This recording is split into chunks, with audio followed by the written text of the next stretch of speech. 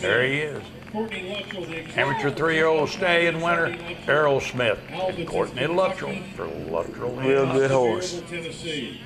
Aerosmith, 243 is your class winner.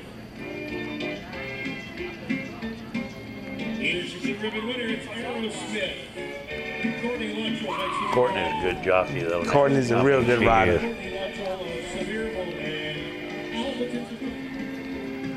She's a good one. Courtney Luttrell, Alberton, Kentucky, and Sevierville, Tennessee.